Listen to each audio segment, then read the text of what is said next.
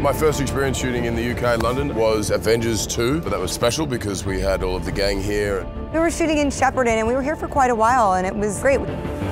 I remember coming here for the Ant-Man press tour. It was exciting because I have so much family here. It had cousins and aunts and uncles got to come to the events. Fans here welcomed us back quite nicely. It was awesome. UK fans have like a special like pop cultural savviness to them that I think that like really puts these movies in a, in a sweet spot. We've always loved the dialogue that fans have around the movies here.